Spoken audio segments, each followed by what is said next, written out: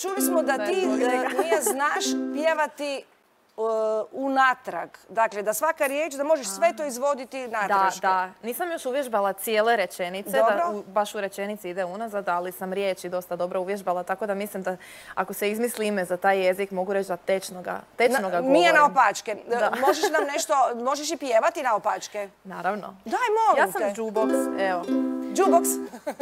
Hoću otpjevati, ne znam, život nije siv. Može, na opačke. Da, da, da. Ako napravimo stoj, dragi gledatelji, sve će nam biti normalno.